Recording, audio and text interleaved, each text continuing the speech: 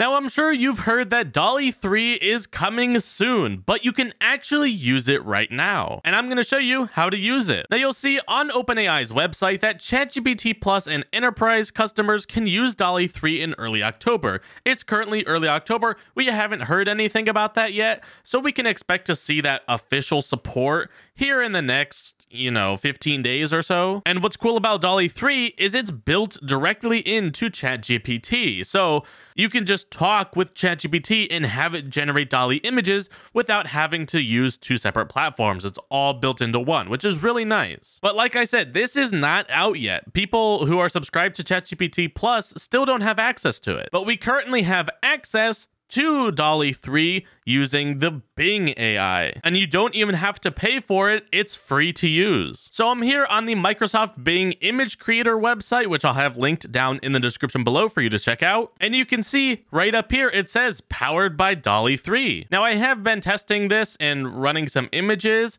but I'm to start a new one. Now I had ChatGPT generate this prompt, so let's go ahead and check it out. So you hit generate up here, and then it's going to work on generating that. Now, I have had a lot of struggles with this actually working because there's so many people trying to use it where the system got overrun, which is why over here on the right, there's a couple generations that didn't even complete all four because the system was overloaded and it just couldn't complete them. But I happened to find a pocket where things are actually generating for me. Who knows how long this pocket will be? Just know that you may experience some downtime because there's a lot of people trying to use it. But yeah, check it out. We got some pretty cool images that we couldn't do before with DALL-E 2. DALL-E 2 was not this good. So we have a huge upgrade and it's for free. And here's a Street Performer one, which again looks really good. It looks quite realistic. You'll probably find some deformities here and there, but that's just AI image generation.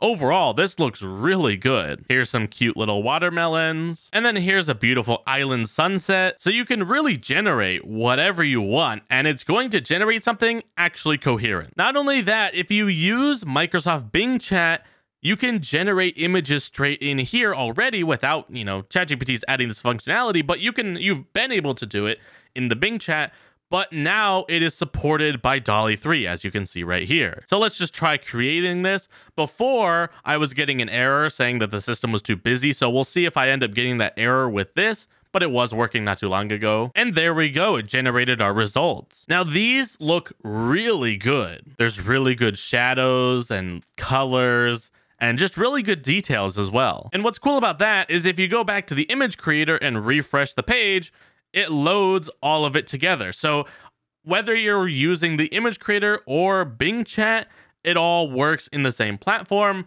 so you can access them all right here. Now let's go ahead and try that same exact prompt in DALL-E 2 and see the massive difference that we're gonna get here. So this is what we got in DALL-E 2. You can barely make out that it's an actual snowman, like what happened here.